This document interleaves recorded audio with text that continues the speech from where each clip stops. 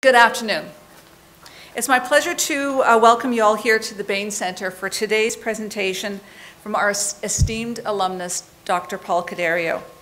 We're very proud to see the development of students into lifelong learners and global engineering leaders. And uh, Paul's career is an exemplary, exemplary example of how that can take place. He joined the World Bank in 1975 and spent nearly two decades uh, with the organization's frontline development program in West Africa and China, and then went to the public sector management throughout uh, Asia. In 1998, he began working on the World Bank's efforts to modernize and streamline its business for the digital age of transparency and accountability, starting with the renewal of the bank's global information systems.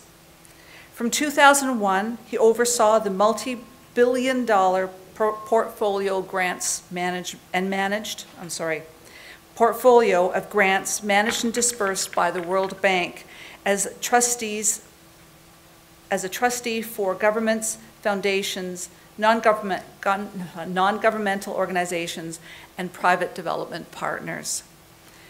Over the course of his career, his work took him from Afghanistan to Zimbabwe, from Guinea to Indi Indonesia, from, from Bhutan to Burundi. But without regard to how busy Paul was with his commitments to the World Bank, he always made time for his alma mater. His, his, ties as a dedicated volunteer to U of T have been strong for over 40 years. He was a member of governing council twice. He was the first president of the University of Toronto Alumni Association to live outside of the GTA. He chairs the Dean's Advisory Board for the faculty and the Board of Direct Advisors for the uh, Department of Civil Engineering. He is a member of the advisory boards for the School of Public Policy and Governance and for the Munk School of Global Affairs. He also supports fundraising on behalf of the university as president of the Associates of University of Toronto, Inc., and is a member of the University of Toronto Boundless Campaign Council. After he retired from the World Bank in 2012, Paul was appointed Distinguished Senior Fellow in Global Innovation at the Faculty of Applied Science and with the Munk School of Global Affairs. In addition to working with faculty and students in the Master of, of Global Affairs program and with PhD candidates in the Center of Global Engineering. Paul co-teaches a fourth-year civil engineering capstone design course entitled Sustainable Global Communities. He earned his Bachelor of Applied Science in Civil Engineering from U of T in 1973. As a Rhodes Scholar, he also received a BA and MA in Philosophy, Politics, and Economics from University of Oxford. More recently, he earned a master's degree in organization development from American University, and in 2013, U of T awarded, awarded him an honorary laws degree. When he's not posting an update on Facebook or tweeting from the airport, Paul lives in Washington, D.C. with his partner, Dan Gordon. But today, we're ex very excited to have him back at U of T Engineering. Without further delay, Please, please join me in welcoming Paul Cadario.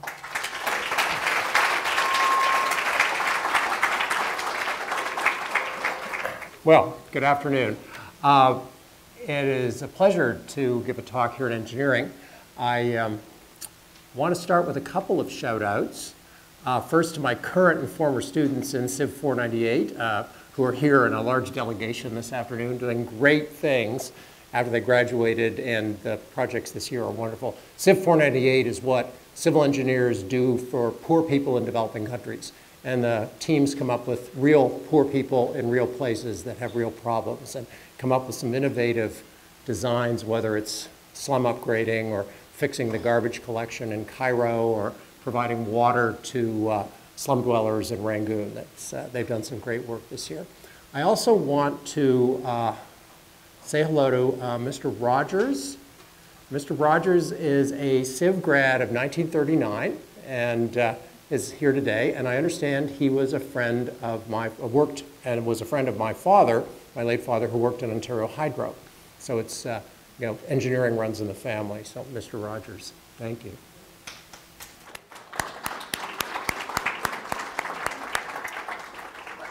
And just to uh, make sure that the, you know, the, the innovation that goes on in the private sector is here, Elizabeth McDonald is a great good friend of mine and the president of the Canadian Energy Efficiency Alliance Association. Alliance. Alliance um, who is busy looking for ways for that number one future fuel saving energy can be applied here in Canada. And of course, my partner, Dan Gordon, who is used to saying around the house, this looks like a job for an engineer. So, uh, and is an expert in procurement, if any of you uh, want to hear about that, um, because procurement is how things get done. Uh, this afternoon, um, this is a, a, slide from 1870, 1828. Um, it's called The March of Intellect. And 18, the 19th century was a time when engineering started to innovate and do things that changed first rich people's lives. This was before the internal combustion engine, but this artist uh, thought of some of the things that might exist. We see flying fish, we see various things to help the, uh, the rich live better. Uh, fairly clean streets for the early 19th century. But um, what this shows is uh, now, then as well as now, new inventions and new products lead to social change. And this is how often new things are depicted by people who don't really understand them. Later in the century, there were the Luddites. So, what I want to start with this afternoon uh, is to remind ourselves that to make sense of the future, it's really important sometimes to think about the past and reflect for a moment on, the, on engineering in the 20th century and all the advances that uh, we enjoy because of what happened in the 20th century uh, where we are today, and think for a moment uh, about moving out into development from the time, uh, moving from right the cusp of the Millennial Development Goals, which I will discuss, to the Sustainable Development Goals, which will be discussed at the United Nations later this year, that are relevant to the future of global development. And then to look a bit about how engineering development takes place in the 21st century. But first, a little question for the audience. And what I'd like you to do is turn to someone near you and say what to the, your neighbor. Uh, well, how did engineering improve lives and human well-being in the 20th century? Which I think everybody knows about, 20th century. So think for a moment and then perhaps turn to your neighbor and say, well, what innovation, what engineering thing improved people's lives in the 20th century?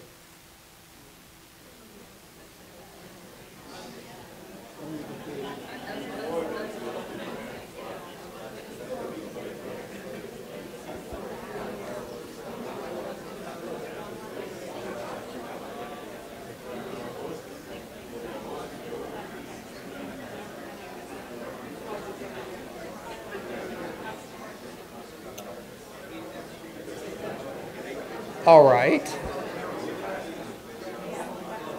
Okay, can I, uh, can I just ask you, you, you've had a good conversation, can I just have a few shout outs from the room about things people mentioned? Shout out. Mass electric power distribution. Thank you. Mass electric power distribution. Sanitation, clean water. Sanitation, clean water. Excellent, Philip. Others? Hmm? Communication. Communications, good. Mass production of uh, clothing, or ready-to-wear clothing. Yeah, absolutely. Yep. Anything specific about medical equipment? all of it. All of it. MRIs, MRIs, yes. Good, that's a good list. Anything else? All right. The internet. The internet. Now, there's a few little uh, pictures of what happened, some of the things that changed our lives in the 20th century. Uh, water supply and sanitation, it's important to remember that at the beginning of the 20th century, there were diseases like typhus and typhoid and cholera that people in cities got. And they got that because water was dirty and there was no way to take away the effluent. But today, living in a modern city in a rich country, we don't worry about water. We don't worry that our sewage isn't going to, is going to be in the streets to give us diseases. It's important, though, to remember that water and sewerage is not universal in the world. Today, there are two and a half billion people who do not have adequate sanitation, and there are nearly 800 million people who don't have access to potable water. And there are six to eight million people who die every year of waterborne diseases, including malaria. Uh, electrification, excellent point.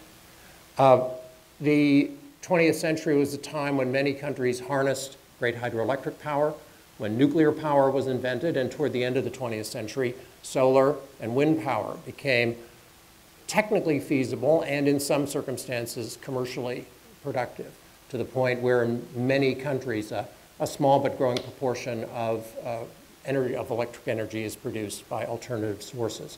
Uh, nonetheless, the uh, issue of energy still remains a pressing one, given that we're all very worried about climate change, to which I will return. At the same time, there are still 1.3 billion people in the world who lack reliable electricity or, frankly, electricity at all. Many of these people are in Africa, and there are about 500 million in South Asia, mainly in India. The lack of electricity means that you probably have a polluting wood stove. You have to go and gather uh, wood to uh, cook your food. You have air pollution inside your house. Your daughter cannot do her homework at night uh, because there is no light. Uh, and there are many would argue that the UN standard of a light bulb and a fan and a place to plug in your radio is not really a standard to which uh, we should say that's good enough if we can get those 800 million people with that standard. Medical devices and vaccines, and I would add vaccines. Uh, even when I grew up, polio was a very big issue. Uh, during lifetime of many in the room, smallpox was eradicated. And that was as much a logistical matter and a statistical matter as it was one of vaccine science. Uh, the medical profession, polled a few years ago by the American National Academy of Engineering, asked, well, what were the great tools that were invented? The number one tool was magnetic resonance imaging because it avoided unnecessary surgeries and allowed diagnosis without diagnosis in a fairly low radiation environment to, um, to save people's lives, again, in rich countries. Global supply chains are actually quite an important element of the 20th century, and they combine a number of these issues. They combine, combine the um, widespread use and standardization of, of containers as a way of transporting goods around the world. They involve uh, airplanes for the things that are small and light and pretty high value. But more, as importantly, they involve uh, the internet, because it's possible for a consumer to buy something that's barcoded and that goes into a computer system of a supplier, which is then sent by the internet to the factory in China that says, my, we are running out of blue. So we need to ship more, make more blue and ship more blue. So the whole concept of global supply chains, which has transformed how consumers consume, was made possible by engineering the containers. I think containers are probably the big invention but all the container terminals, that's the port of Shanghai actually in that slide. Lasers and fiber optics are examples of the kinds of materials that, and high performance materials uh, that get smaller and smaller. Um, I think I have on my person more um, computing power than went to the moon. That again, part of engineering in the 20th century. Space exploration uh, has led to a lot of uh, things that are, we use in everyday life, including computers, of course. But how many people remember, how many people know Corningware. Pyroceram? You know, all of us of a certain age remember our mothers had that with the blue flower on the side. Uh, does anybody remember Tang? Oh yeah, a lot of, yeah, again, that's a very age-specific thing. We wouldn't be caught dead with it now. But nonetheless, to explore space was a time of great engineering innovation. Uh, it was a time of great commercialization. It said something about how space exploration got funded. Uh, but nonetheless, there were advantages to society other than understanding our universe better and understanding what could be done in low or zero gravity environments and producing a lot of very good motion pictures. Robotics, of course, meant that everyone who learned robotics could become an automobile manufacturer. The Chinese, for example, thought, well, we can make automobiles. Uh, we have lots of workers. We can put the automobiles together. And the World Bank took a group of uh, automobile manufacturers uh, on a study tour around the world to look at BMWs, to look at General Motors, to look at uh, Korea, and say, you can't build cars if you can't build robots. So the Chinese said, right, robots. So they learned to build robots, and now they build cars. They're also buying technologies to, of people that make even better robots. But basically, one of the big inventions, one of the big contributions of engineering in the 20th century was the pieces of globalization, which is basically the uh, sharing, the transmission of products, of ideas, of views of the world that has changed our lives and everything we do because we live in a world that has become globalized. And probably, in my view, the big innovation, the big change in the 21st century, the 20th century, were cities. Because engineering made it possible to have clean water, get rid of the sewage, collect the garbage. It also allowed cities to grow tall, because elevators, the first elevators were commercially available in the early 20th century, and allowed cities to sprawl because there was transport available, railways, cars, expressways. So the urban form that we see in the world today that creates cities is a source of great innovation because people come to cities to prosper, the knowledge industries uh, develop, and a lot of the great innovation of the world has happened in cities. The financial centers are in cities, and half the world's population lives in urban areas, often by the sea. Nonetheless, that, I think, as engineers, we'll take credit for the 20th century. Because I think that's really, if you think about it, what we do, because engineers make the quality of life possible in the world today. It is a world where not everyone has the same quality of life, but nonetheless, in the developed countries and in cities in many even poor countries, engineering has made that possible. So that's global, that's the jumping point to global development. Now, global development is very complicated. And I'll just let you look at this slide. There are some even more complicated slides to come. Now, this is a, a, a slide from a report of the United Nations Committee of Experts on how to pay for sustainable development. And so various interests are here. And if you look at it, it's actually a very interesting slide because it does two things. First, it doesn't, it, it mainly talks about money, which is very important, but it doesn't talk about ideas. And because if you look at the sources, well, public and private sources, source of ideas, source of political will to get things done, international public sources like the World Bank, the United Nations, international private sources, the great corporations that operate globally. But they're not only where stuff gets made and money gets spent, it's also where ideas and innovation happen. The center part is intermediaries, again, often to do with funding, but many of them, if you look at it, are about cooperation, about collaboration, about the role of government in making things happen.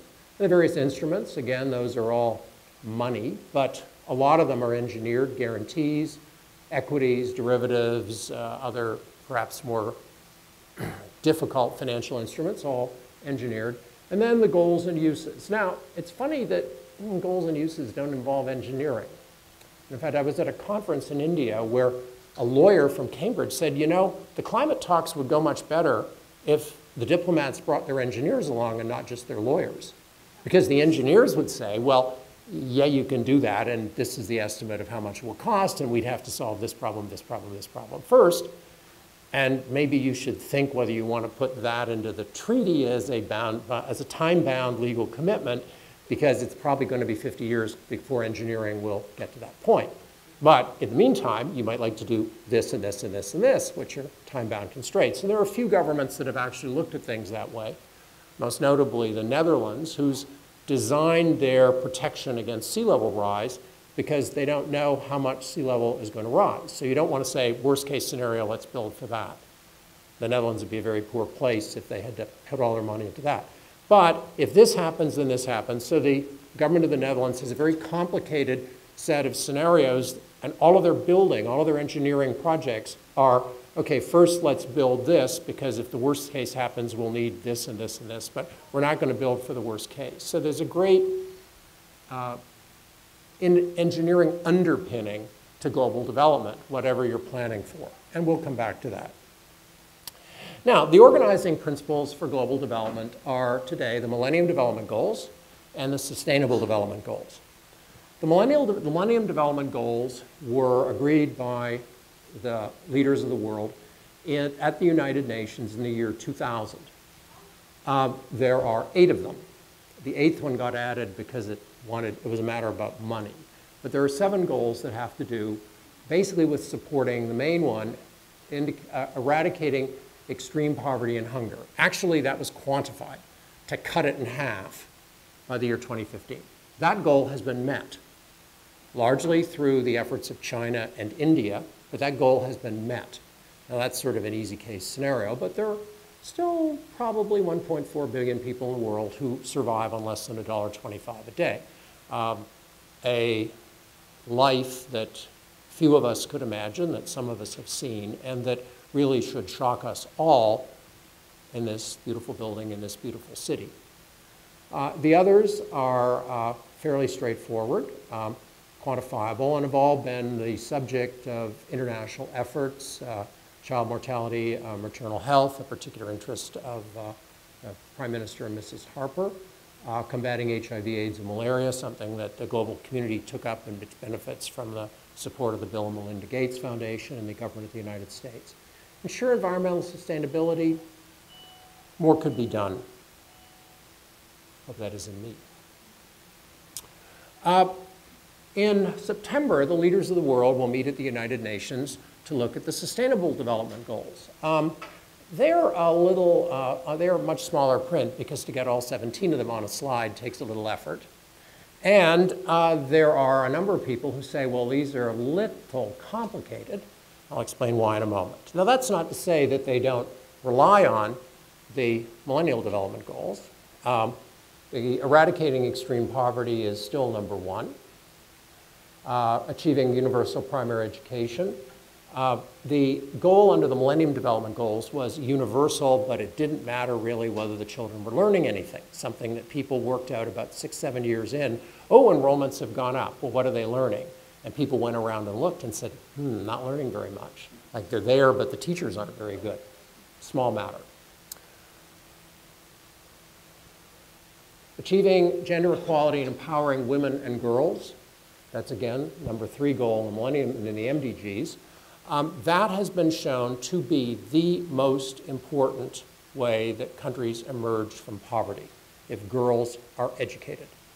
Because that gives them jobs, it gives them some power over their reproductive rights, it gives them a wish that their life be better for their daughters. That's the number one thing that can make a country prosper. And if girls are not educated, if women do not have rights, countries do not prosper. Now, the uh, ensuring environmental sustainability gets a special place as goal number 16, which I will read. Promote peaceful and inclusive societies by sustainable uh, government provi uh, development, provide access to justice for all, and build effective, accountable, and inclusive institutions at all levels. Well, that's sort of environmental sustainability. That's sort of where it got in. But I want to point out a real, really important one. Number eight, promote sustained, inclusive, and sustainable economic growth full and productive employment and decent work for all. Now that's rather important uh, because people who have jobs uh, innovate, people who have jobs have salaries, people who have jobs consume, people who have jobs don't have time to get into trouble, people who have jobs see a better life and want their children to be educated so that they will have an even better job. But it is interesting that jobs, which many people would consider something that's very inclusive and could involve everyone, the jobs is only goal number eight. And there's a whole school of thought about why that is and whether that needs to have something done about it. And jobs are basically supported by goals 11 through 15 that uh, relate to the development of cities, that relate to having sustainable consumption and production patterns, that relate to working on climate change, goal number 13. Now, why climate change is goal number 13 is why it isn't further on the list, hard to say. But nonetheless, I think a good answer is that there is such a huge unfinished agenda on the MDGs, you can't sort of put them down at the bottom, even if some other things maybe are more urgent, or maybe need work, or maybe are going to be harder to do. Nonetheless, the elements of promoting a sustained global economy, a sustainable global economy, an inclusive economy with good jobs, that's the way you do it. And part of that has to do with protecting the resources of the world. And of course, this is also about money and institutions. Is there the political will to spend the money on the things that need to be done? And again, that was rather important. So let me just use one. I forgot to use my prop. That's a shame. I'll have to come back to that. Um, how the Sustainable Development Goals relate to engineering. And I'm going to use climate change as the example, not just because I think that is the key challenge of humanity in the world today, uh, but also because I think that's something that engineers uh, looking forward can do something about or help do something about, and where some would argue that engineers have had a lot, have a lot to answer for for the sorts of things that were done in the past. And I'm going to use these pictures. And I have four. The first one at the upper left is a woman survey in the Philippines surveying the wreckage of her home after the super typhoon about a year and a half ago. Uh, there's been work now that shows, that has looked at who is going to suffer most from climate change, and it's women. Why is that? Well, it's everything from women may not have a cell phone so that they can get the text message that says, you need to go to higher ground to the fact that women look after the home and children who are vulnerable in one of these emergencies, to the fact that women in many poor countries produce most of the food in their small gardens, to the fact that they, in many countries, many societies, do not share in the income and wealth of the family in a way that they can look after themselves. So climate change is something where building resilient communities involving women, uh, paying particular attention to the needs of women, has multiple goals and multiple good impacts. I see my, some of my students uh, nodding wisely. Uh, we own uh, the, the picture beside it is an African village, and there is a solar panel there.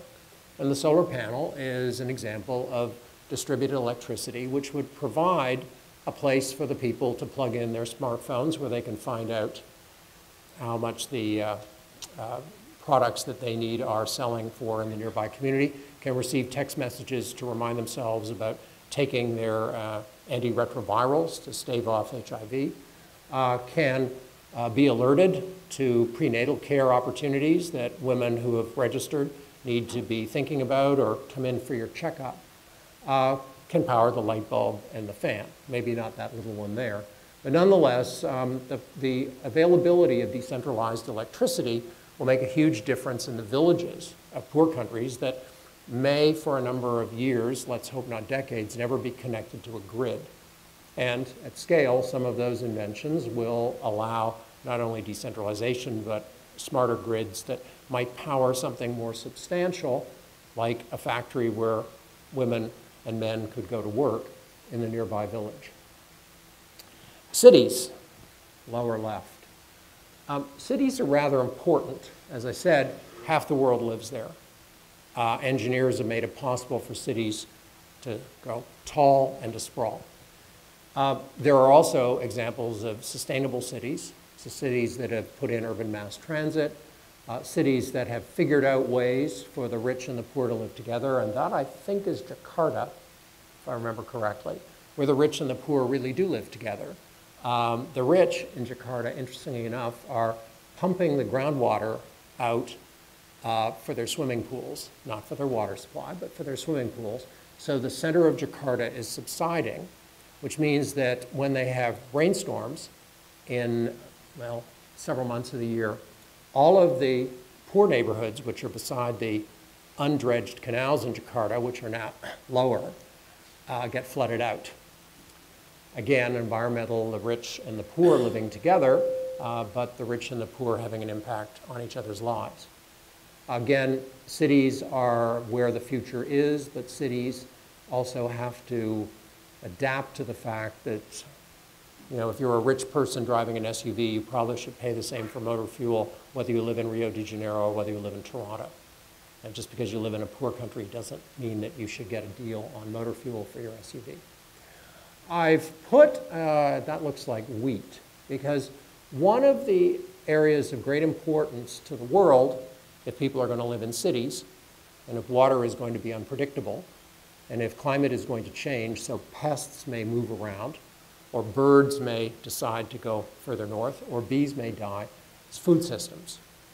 How do you provide the food from farmers, many of them smallholder farmers, some of them big industrial farmers?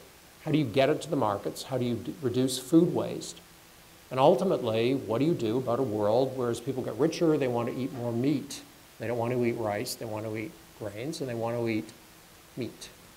And they want to eat fish, which are disappearing from the world. So again, the organization of food systems for the world is likely to become increasingly challenging and something to which engineers need to pay some attention.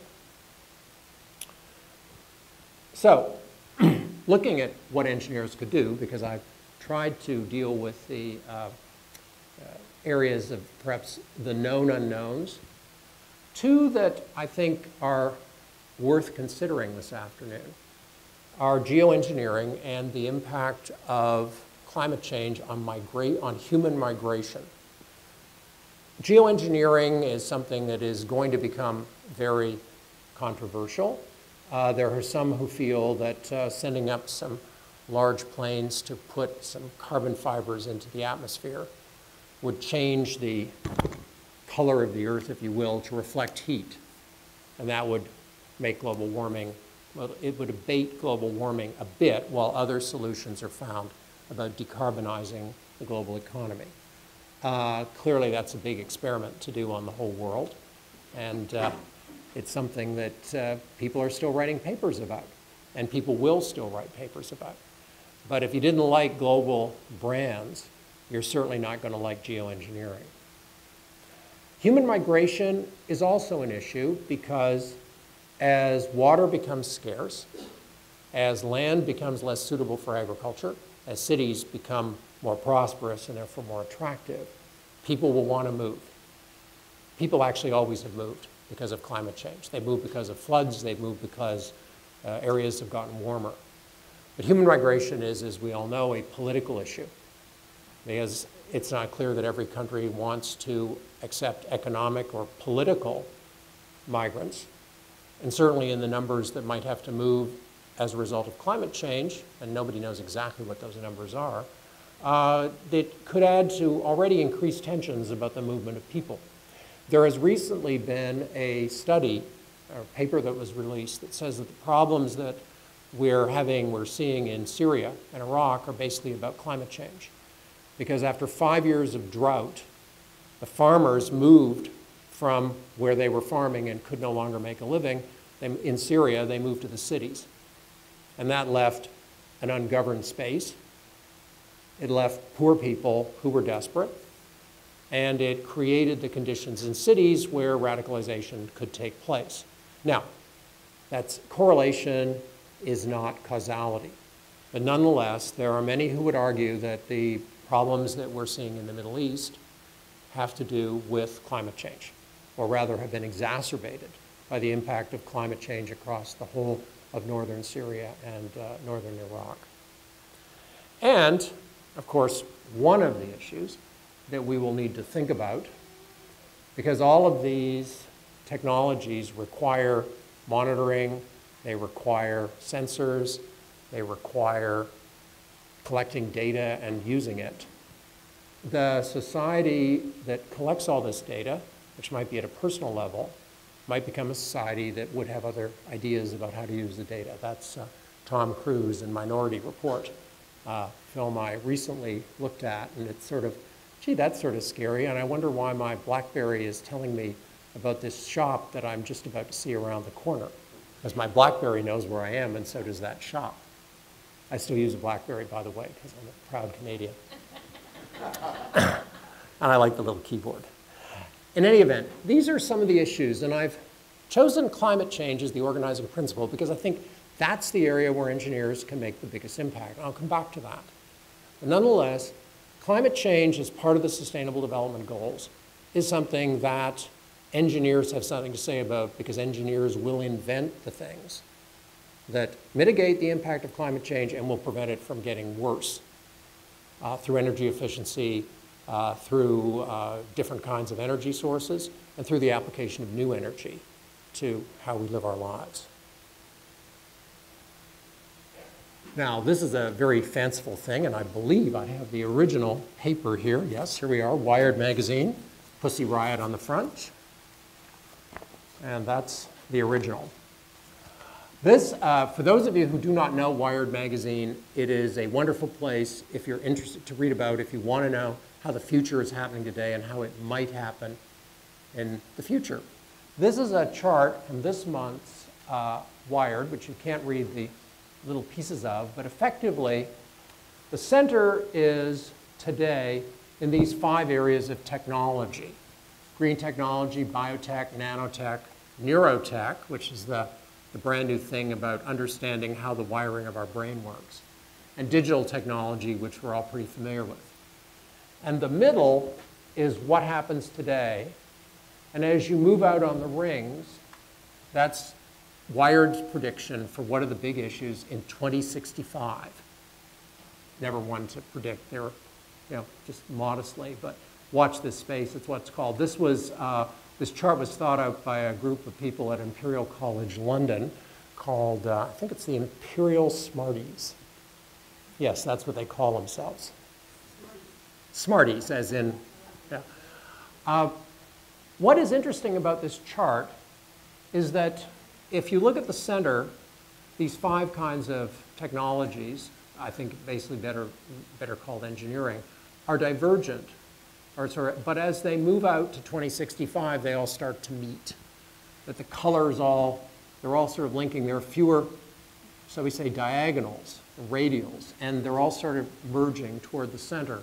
Uh, some of these, like having a little tattoo that they put on you temporarily, and the tattoo interacts with your skin to do a, a diagnosis. That is a somewhat fanciful view of engineering and sort of, oh, well, why would I use that? Well, there are a lot of things we carry around today where, including iPads, where people say, well, why would you need to carry the internet around in your, in your bag? We will do that. But let's think of some of the things that might occur. We have agricultural technology. There are people working on generating meat without animals, which might, in fact, it's a very interesting issue of genetic engineering. Um, but, and it tastes like meat. I don't think I'd, I haven't tried one yet, but apparently there's something that looks like a hamburger. Um, a vaccine that's for you, because it's looked at your genetic makeup and it says these things will work for you, and they'll do it sort of on the spot. You know, take your blood, okay, this vaccine needs to be tweaked, and it'll be tweaked.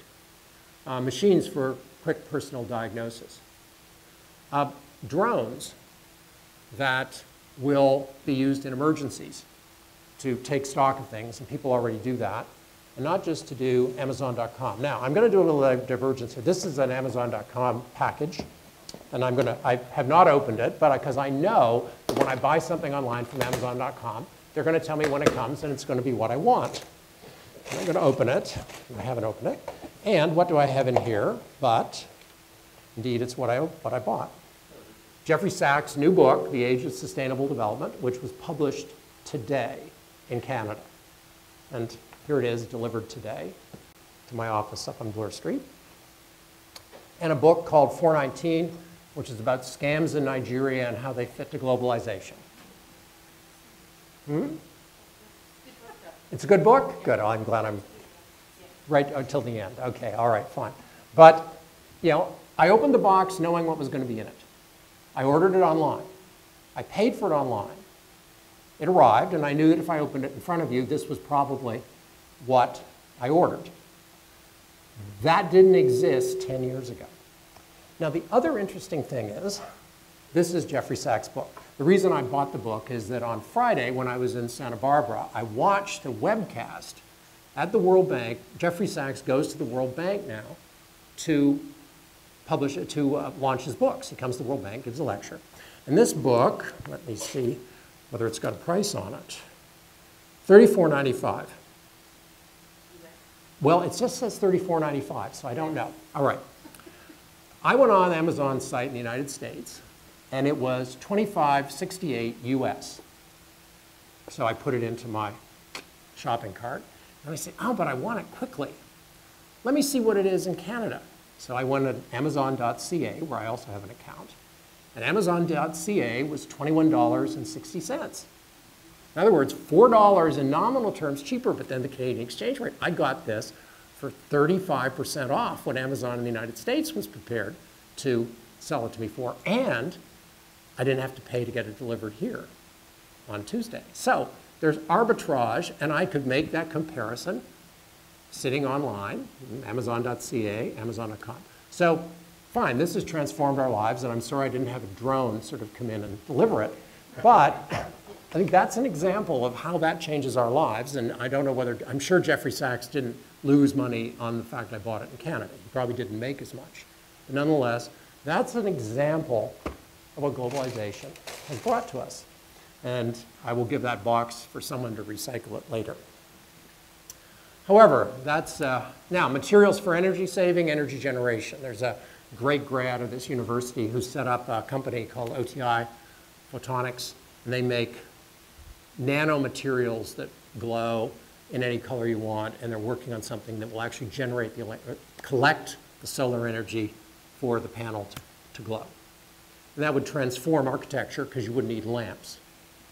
It would maybe be visual displays that lit up. It would be, oh, I'm tired of looking out on my neighbor's garden. I want a view as if I was on the 35th floor of a, a condominium at Yonge and Carl. So fine, I could have that on my wall. But again, an energy-saving material uh, invented here in Canada. Where it's going to be manufactured, we'll see. But again, you could imagine that a panel like that, low energy, high reliability, very durable because it bends. If you were in a developing country and you wanted some light, having one of these panels in your house with a little solar panel on the roof would provide your, ho- your home with lighting in the evening for a woman and her daughter to study together. Geoengineering, I mentioned. The algorithms and the smart machines for urban services. The bridge that told you that it had, or the, the street that told you it had a pothole. Like, wouldn't it be wonderful if the 400,000 potholes in Toronto had all sent a message to City Hall to say, I was surprised there were just 400,000, but uh, anyway, but you know, they, they, they appear because the snow melts. But if you had materials and sidewalks and bridges that told you there was a problem because they had sensors. Or the engineering from the entire road was looked at and an algorithm said, you know, there's likely to be a problem next week. When do we schedule the repair team to come out when it will make the least damage and how do we send a message to vehicles? Please find another route to work. And if the vehicles don't have drivers, so much the better, there won't be a choice. But you can imagine that the algorithms and the smart machines with sensors in them will change how we live and the sorts of questions that we have to worry about in our daily lives. So, just a few things just to uh, see if I've left anything out. These are pictures. There is a solar powered airplane that began its journey around the world yesterday. And It's somewhere, I guess, between Switzerland and Dubai today, or Switzerland and Abu Dhabi. Uh, those are three Afghan girls with their skateboards. Uh, before the war in Afghanistan, the girls' enrollment was, I think, 4%. Now it's about, uh, most girls are in school. The boys still outnumber the girls. We have drones, which uh, aren't always military, but can be used for other things. We have a child beside uh, what looks like a water filter, and then a village with their water supply. Cities. Uh, cheap smartphones, that's the new BlackBerry that apparently you can buy in Indonesia. That's cheaper than the new BlackBerry you can buy here. That little uh, orange thing is an array which could do a blood sample, do a complete blood workout without refrigeration, and it would tell the medical technician right there what you needed. And, and, and then could be analyzed attached to her smartphone. Uh, 3D printing is an interesting one. Has anybody seen a 3D printer that looks about the size? They're about the size of a bread box now, the little ones. There are some big ones too. Um, 3D printing, you could imagine that if you were in a village and you had a pump and the pump needed a part, well, all right, when's, when's the part going to arrive? How long is it going to take to get here? You can imagine that if the pump said, this part has failed, and sent the information to the village chief's 3D printer, and the village chief had the materials, and then the spare part was done. They're already doing this on the space shuttle, on the um, International Space Station. There's a 3D printer up there that actually makes spare parts for something that breaks on the International Space Station. But a more interesting use of 3D printing would be prosthetics. And that's a, a, girl on a bike with her uh, prosthetic leg, which has been fitted just for her. And unfortunately, there is a big demand for those because a lot of the world is in conflict with landmines and other casualties of war. The idea of being able to fit a child who'd stumbled across a landmine, uh, a woman who was the sole support for her family was something that could be made for her with 3D printing and laser technology for her, easy to replace, not expensive to build. That is doable today, but you can imagine that could be scaled. And smart machines, I think, are at the basis of all this. So let me just conclude by talking about science, technology, engineering, and math as the way that we improve well-being and that we can improve the well-being of all in the 21st century. Science is the study of our natural world and its understanding.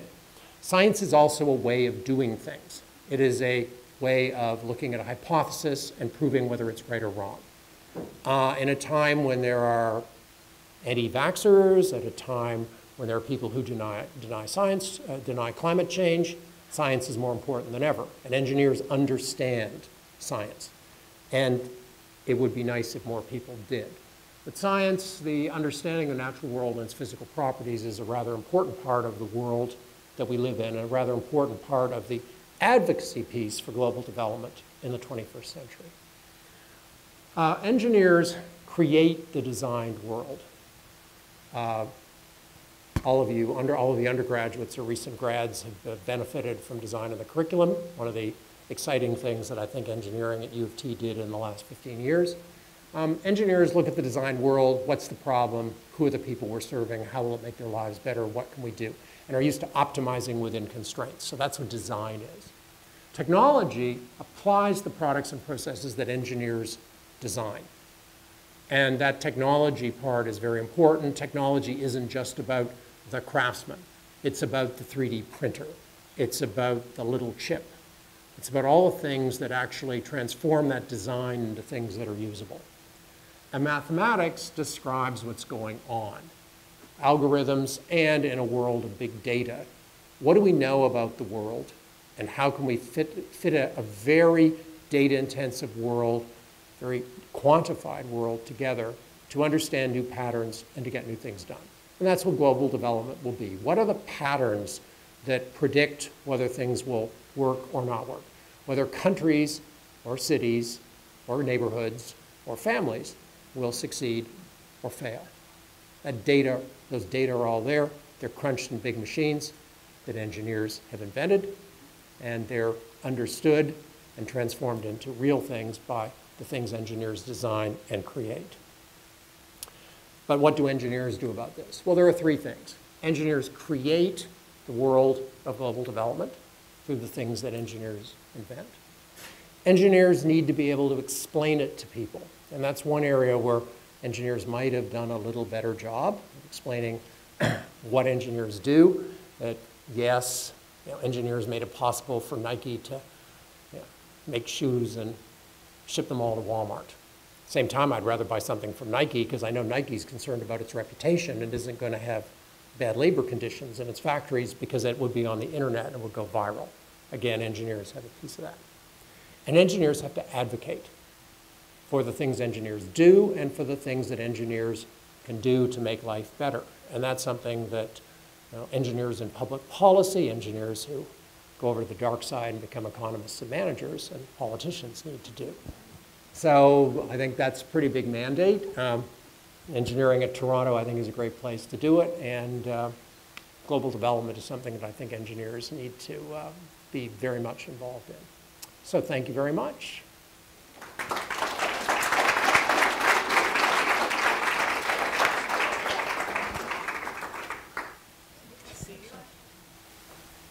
Oh yes, now uh, questions are being collected. Sonia has got cards, and Brenda and I are going to. Are you going to sit down, or are you going to walk around, Brenda? What would you like to do? If you can hear if I need the mic or if you can hear me otherwise. Uh, I'm used to using my teaching voice, so, uh, but I'll, I'll try to use this. Actually, they're making a. They're making. I Don't do we? Do we have to sort of sit, be close together so the video can get it, or what would the? What Oh, would our sorry. videographer like So, to do? I- Sorry, I'm creating havoc, am I? No, I um, just wanted to make sure we were doing what they wanted. Okay. So while these questions are being collected, uh, Paul, I just have one small uh, question for you. The, the, the global development requires a huge multidisciplinary approach to make sure that we do it as well as we can. And Can you talk about a few ways in which engineers are being integrated into that process? That's a, that's a great question. I think that the answer fundamentally is not well enough. Uh, because engineers, and I'm going to sort of use myself as an example, engineers either go and work as engineers and they work as, in engineering companies or for governments and they work as engineers, which is great because how would things get done if engineers didn't invent things? Or they go and get degrees in economics or they become lawyers or they become MBAs and then they go into um, places where their engineering sensibilities are there, but they're not really engineers. And the answer that I would give, I guess, is that I would hope that more organizations in the private sector and the public sector are actually going to say, well, look, uh, we don't want the engineers to all become generalists and we don't want the lawyers to all become engineers because that's impossible, or the sociologists become engineers. What we all need to do is to remember what our background is and what we're basically skilled at, and we need to be able to talk to people and be in teams that include the other specialists who are needed to get things done. And that we all appreciate and understand, and to some ex- extent, speak the language of the sociologist or the economist or the management specialist or the doctor or the lawyer, so that they under, we, can under, we can put across what we believe needs to be done and how we would approach it. And we also can listen respectfully, but at the same time, with a question, knowing enough to question what we're hearing about uh, what they're telling us needs to be done so that we can interact with them and be influential. Uh, there aren't, uh, like, the World Bank does not have as many engineers as it ought to. And if you look at the rest of the global system, you know, the global financial system, there are probably, you know, engineers that are quants on Wall Street or Bay Street. Well, that's engineering, but a very particular kind. Uh, I would imagine that the engineers at Apple have become very good at talking to the marketing people uh, and the designers and bringing the designers in at the beginning. But I'm not sure we quite have the answer. Nonetheless, I think organizations that allow various specialties to work together in teams are the ones that are going to integrate the engineers best into the global development challenges that I've tried to speak about this afternoon. Evelyn? Another question. Thank you. So we have quite a few very, very good questions here, so I'll just try to start at the top and then Good. we'll sort through. What is the likelihood that there could be an international agreement by countries to use carbon capture technology to eliminate carbon emissions from coal, oil, and natural gas-fired fo- power plants? Uh, Well, first you'd have to, engi- have to have the engineering to do it. Uh, And I, I, there there are, I don't know the technology well enough. There's apparently a company in Canada that seems to be the furthest along, and there's a power plant in Saskatchewan. Where, but to do carbon capture and storage? billion to investment, very expensive, but it works. Okay, and how much is the power that comes out of that plant per kilowatt hour? The the output will drop from about 1,100 megawatts to about 950. How much? How much per kilowatt hour? Do I want to pay it? But carbon capture and storage is clearly quite important as part of the decarbonized world. Um, and the fact that there are many countries that do not have a lot of energy sources other than coal. So somebody's going to have to invent that. Uh, putting it in terms of the International Climate Agreement, countries are going to have their own goals, and how they meet them, it looks, is going to be very much determined country by country. So the country will make a commitment, and then the countries that need help buying the technology to make that commit to meet that commitment will be given some form of financing to buy the technology that's needed. Uh, but an international agreement that everybody has to use it, I would be surprised if that happened. I think it's more likely there'll be a, an overall country by country specific commitment, and then implementation will be well, what do you have to do to get to the lower carbon and eventually zero carbon future? Is that carbon storage? Is that carbon capture and storage? Is it more hydro? Is it because you're very sunny, you're going to go solar? Is it because you're very windy? But it, or is it going to be all of the above? And frankly, I think that nuclear has got to be part of that, which means somebody's got to figure out a way to do nuclear power plants in a way that's rather cheaper and is not going to take forever and will provide a level of safety that's even better than what, what nuclear plants experience in the whole world already, despite the three major nuclear incidents that we're all aware of. Okay. Along the similar line, what did you mean when you, when you said that gas prices should be the same in Rio de Janeiro as in Toronto and why? All right. Um, let's say I can afford to have an SUV. I might be, you know, having to cross, uh, you know, having to go through snow here in Toronto, so I spend $45,000. Actually, what does an SUV cost here? Nice, nice, nice Escalade or a Lexus SUV. Fifty, sixty thousand dollars? How much? 65, okay. But the international price of Lexus is, is $65,000. So if I live in Rio de Janeiro, or let's say I live in Caracas, and I have my SUV, and I paid 65,000 because I can afford to pay 65,000 for an SUV. Why, and of course my SUV gets the same gas mileage in Toronto as it does in Caracas. Uh, probably about as needed, well, probably even less needed in Caracas because there, aren't, there isn't ever snow in Caracas. You'd have to use the SUV to go over. So why should I be paying nine cents a liter in Caracas for fuel? It has a carbon burden, you know, because of emissions and all that. And here in Toronto, what is it, dollar six, dollar seven a liter?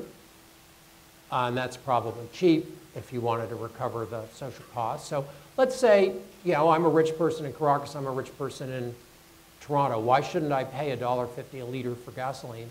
Because Venezuela has a socialist government. Ooh, well, which is broke, but other than that, no. Then, it, well, all right, let's say the United States. The United States, well, you know, not a socialist government, but you know, certainly nowhere near $1.09 a liter in the United States.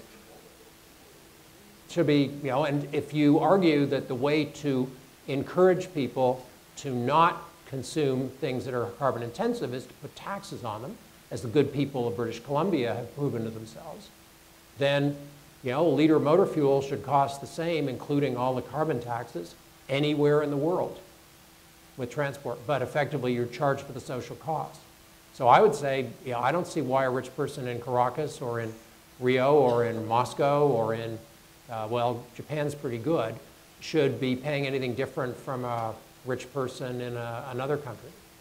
Now, if you say, well, look, the poor people also have like SUVs, probably they don't.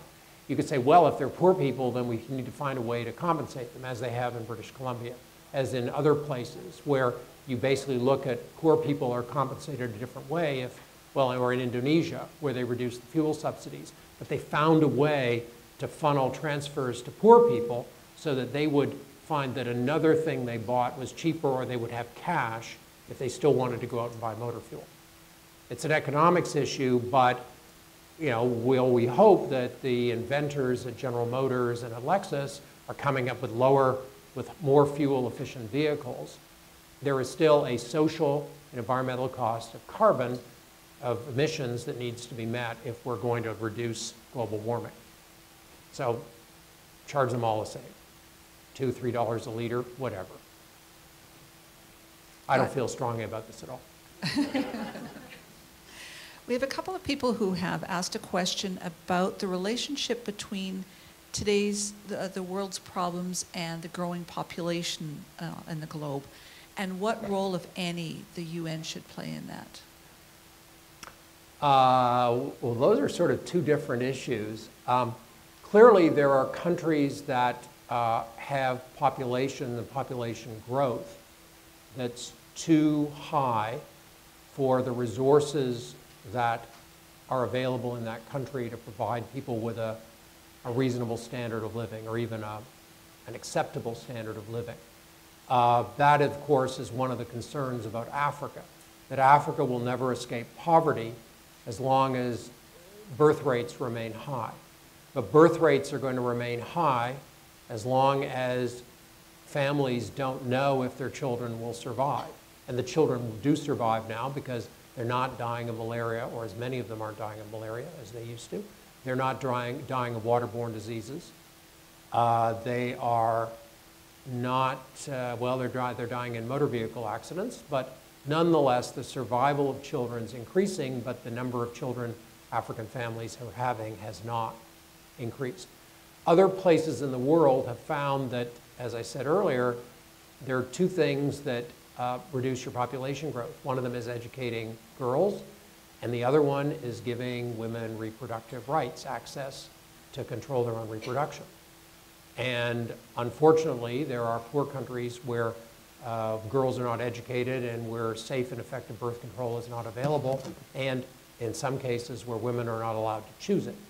So that that is one thing. It would be nice to have um, some implementation of the UN, uh, the UN Convention on Human Rights that made those things a human right that governments were measured by.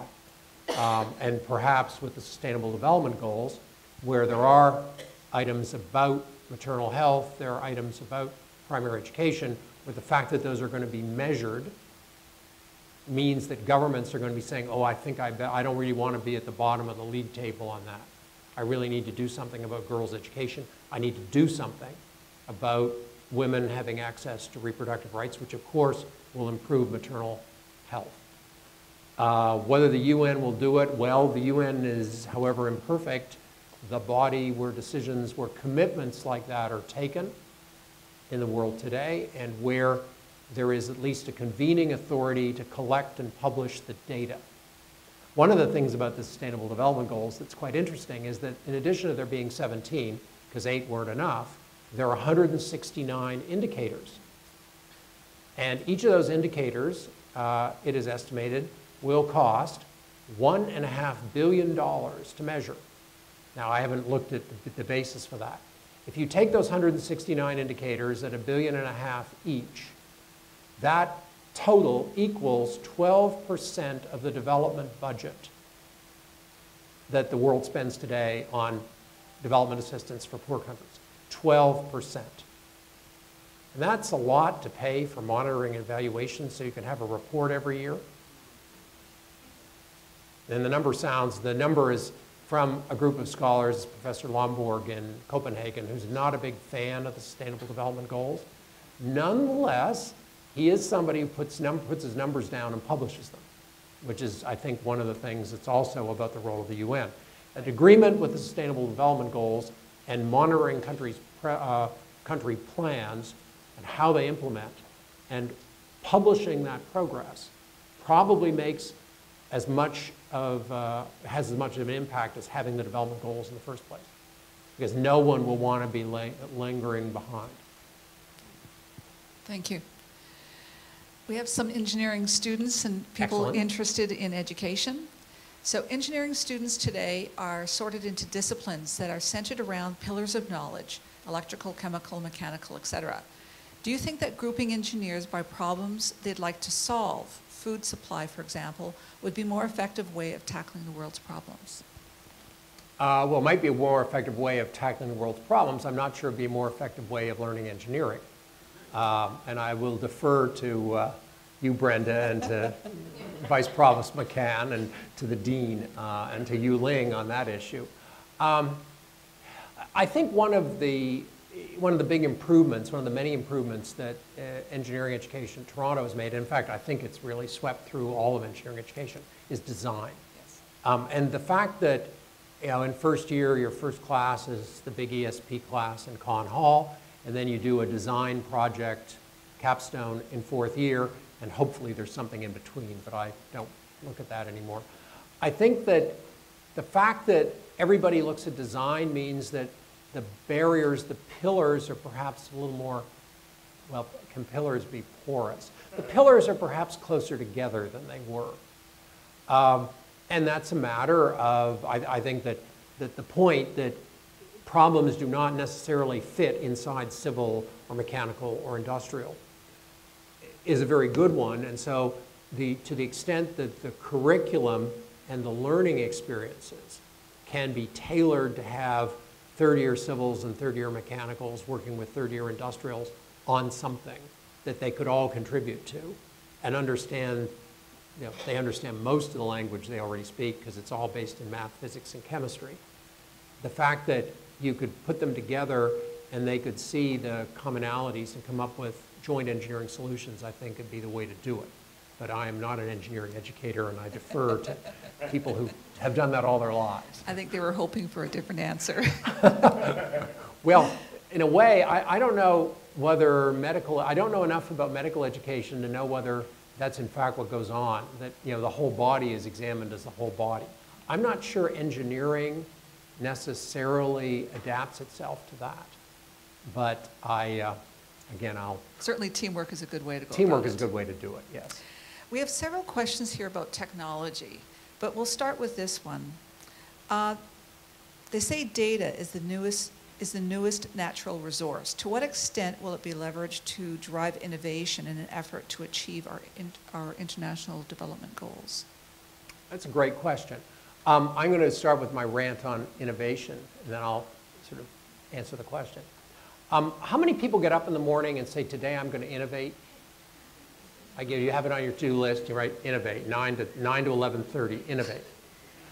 No, what you probably do is you're working on something that's interesting and important to you.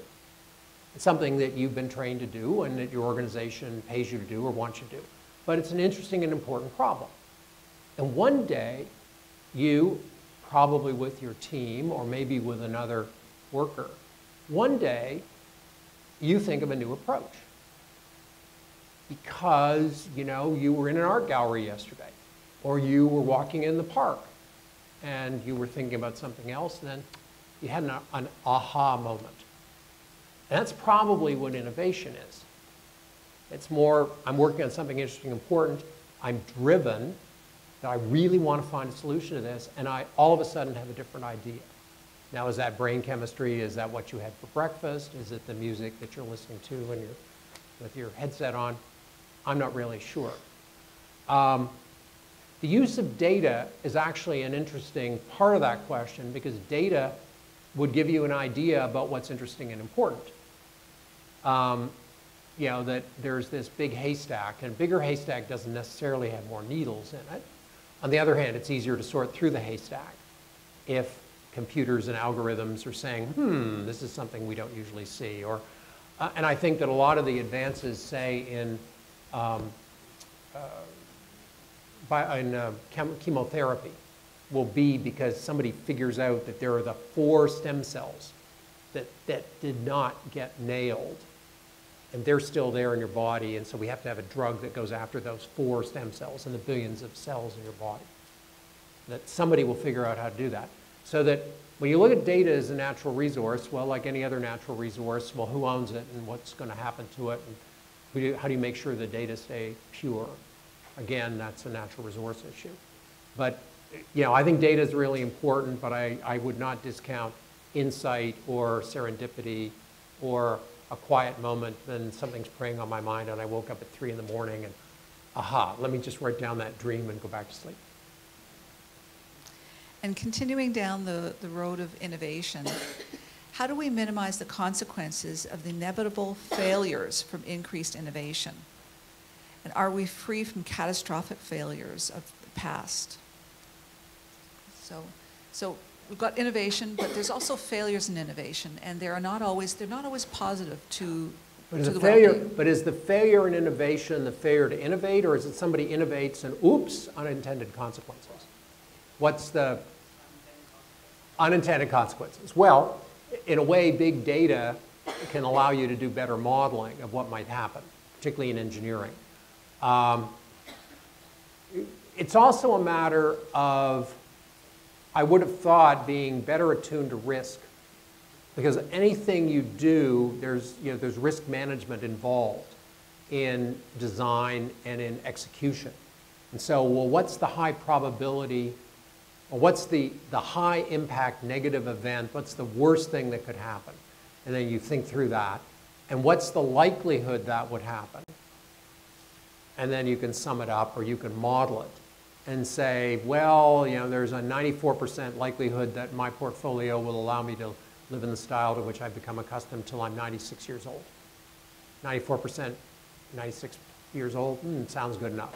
So that in fact, that modeling, which you know, would be a matter of, aha, I have a great idea, what's the downside of this and what's the likelihood of that happening, is the way to do it. And that's where issues about geoengineering and some of these more exotic technologies happen. Uh, that's, you know, the whole issue about SIM cards and does the NSA have the encryption tool to encrypt everything on everybody's SIM card in the whole world? And they may. That's an unintended consequence of maybe there being five manufacturers of SIM cards in the whole world, or that most of the internet traffic goes through the United States. Oh, well, good, it can be sniffed. And so they put a ring around the fiber optic cable and they get all the metadata and who knows what else. So that, yeah, there are unintended consequences, but then, you know, we live in a free society where we should be able to query some of that innovation because let's remember that a lot of innovation that takes place in the world and has taken place is paid for by government. Whether it is research, particularly in the United States, and a lot of it was defense related, whether it's the space program or supercomputers or fiber optics or nuclear power, it was paid for by the government because they commissioned it. Or it was paid for by the government because they gave corporations tax breaks to write off their innovation while they, as a cost of doing business. So that if you're looking to have some, uh, well, in a free society, if you're either paying for things directly, like research, or if you're paying things for indirectly through tax breaks, there is surely the opportunity to say, well, what exactly is being researched? And countries have reacted differently. Like the United Kingdom has a very different view of reproductive health research than from, from the United States, for example. Canada's somewhere in the middle. There are certain medical technologies that can be researched and used in Europe that are not yet approved in the United States. So that every country is sort of setting its own limits about, well, what's permissible? And part of living in a democracy, and fortunately, many of most people in the world, well, maybe not most, many people in the world now live in democracies, is the opportunity when money of the public is involved for us as citizens to help elected representatives and governments draw the limits on what can be looked at. Now, that's, I, I don't think I've quite addressed the question, but that's sort of how I would approach it. There was another question that kind of followed along. Um, do we love technology for its own sake? We've got drones that we have difficulty managing, don't know where the, the owners are and things like that, and also big data and its misuse. Um, I think it Well, well, technology, like the first time a drone takes out an airplane, I would imagine, when it's coming into land, like in Washington, Washington National Airport, That, the next day, there will be legislation about drones, and you will not be able to buy them on Amazon.com. Actually, I should have ordered a drone this afternoon. Flown it around. Has anyone actually seen a little drone? They're, they're quite amazing. I was at a, a, a technology lecture in a fairly confined area, like an office building with, you know, 10, 11 foot ceilings, and they had a drone. They had two 3D printers, and they had a drone. And the drone sat there, and there was somebody over in the corner playing with the drone, and the drone rose, and the ro- drone looked at you, and the drone came close enough that it could look you in the eye, probably did a retinal scan while it was, you know, looking at me. Um, you know, every technology can be misused, and the you know, drones are, are something that we're, you know, because they were first used in warfare, we're all saying, ooh, drones, not comfortable. But when you think of drones being used after a weather disaster, when you think of drones being used after an earthquake, to actually go in very quickly and get a, a view and be able to direct the drone to look at pieces of critical technology, or to look at the state of the hospital, or to go to places where the road's been cut off and maybe the cell phone towers are down. Uh, or to say, look, there is an empty space here. If we had to do the medical helicopters, we could do it there. You know, much faster than it would take if you did aerial photography or satellite photography, which of course has been used in post-disaster situations for a long time. You know, there are very positive things about drones. Uh, I don't include Amazon.com deliveries or pizza, but nonetheless, you know, that's a technology where I think I'd be prepared to say, okay, drones are okay. And even in the era of warfare, you know, the rules of war did not anticipate airplanes or submarines or a whole lot of other things. The rules of war, you know, we're uncomfortable with a guy sitting with a joystick in Arizona directing a drone strike. But when airplanes were first invented and used in war, there were people that were uncomfortable with that. And the world will figure out drones and warfare like they figured out airplanes and submarines. Um, you know, there are downsides to any technology.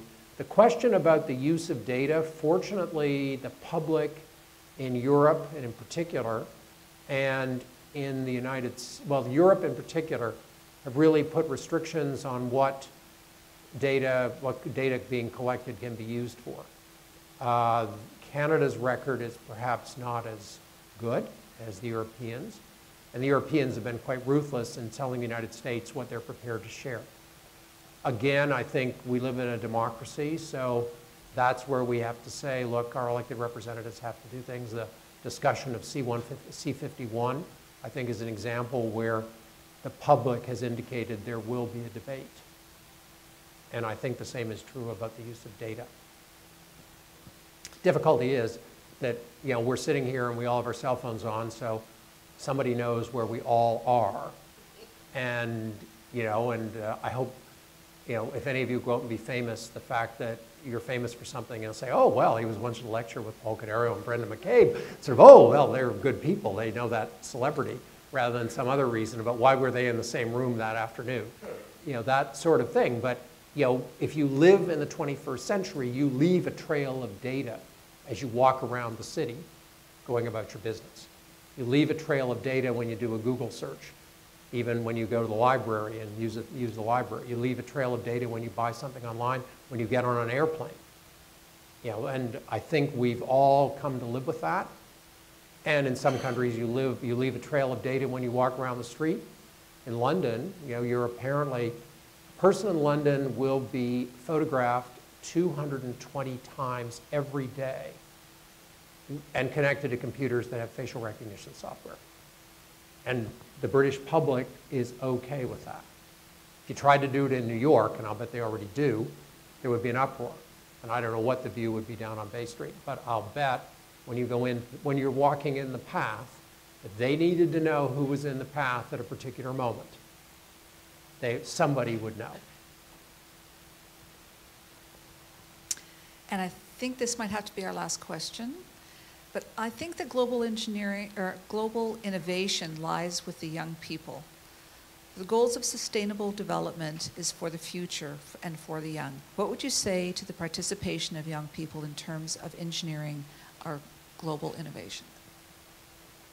Well, who's going to do it if young people don't? Um, I have to say, and I don't say that to flatter my current and stu- former students, but when I think of the uh, questions that get asked and the tools available to young engineers today to go and look at unusual problems that are not just here in Toronto or here in Canada, you know, the world is out there to apply engineering skills and to think of innovative things to do with those skills to solve problems, i.e., to look at important and interesting problems to you and apply your skills to those problems. So, yeah, I think that's part of it. Uh, so, go out and do it. Um, second thing is, I think there is a great deal to be said for knowing another language, not only because you can travel in those countries and know what's being said, you can go in a, you know, with your sociologists who are local and you can ask about, you can hear what the people are saying and say, let me just make sure I understood what Madame told me about her life in the slum and how we could make it better because I, I wasn't quite sure what she said. You can ask Madame yourself.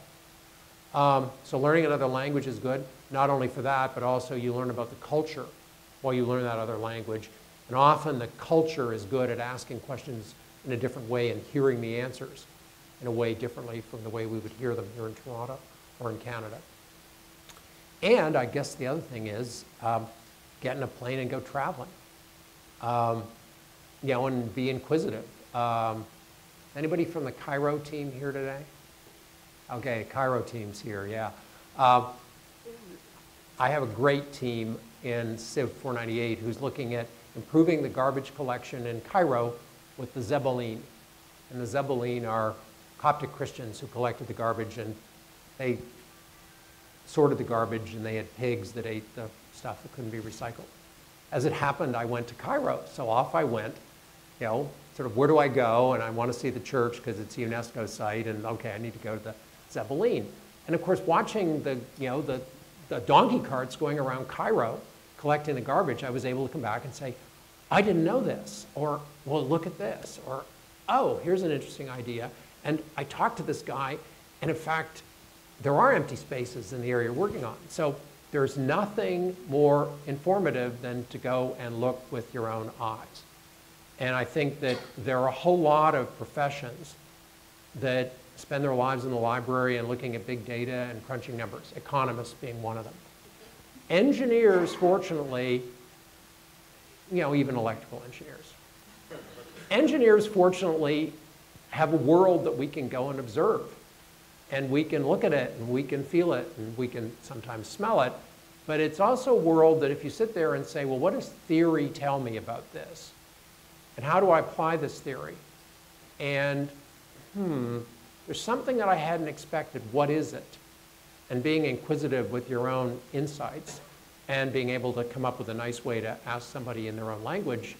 I sort of thought this was going to happen, but I'm surprised. I'm curious about. So, you know, speaking the language, getting on the plane, and being curious, I think that's what complements what engineering students are learning. And uh, I think that's one of the things that's great about U of T engineering, that professors are curious and students should be curious too.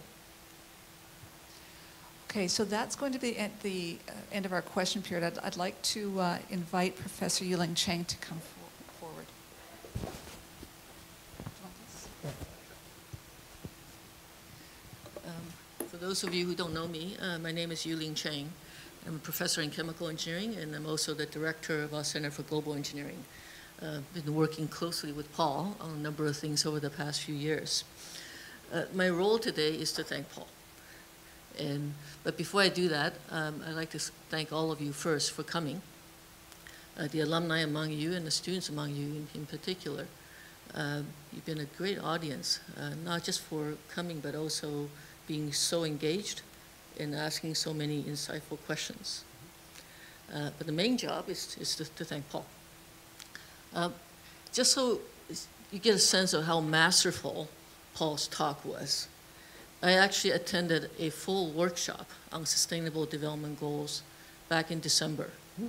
And in a few short minutes, uh, Paul's presentation and description of the Sustainable Development Goals actually taught me some things.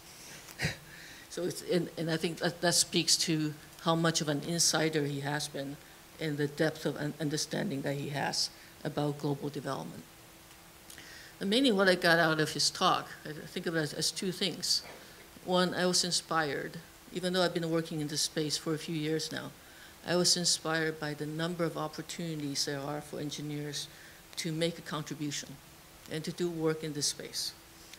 There's, whether you're a materials engineer, whether you work in energy systems, whether you- you're in biomedical engineering, there's a role for you to do something impactful. A second thing that I was that I got from Paul's talk was that I thought he really he did a great job of informing us about engineers' role in this very very complex space. It's not just technology; uh, it's technology in the context of many many other things, and did a great job on on, on both counts.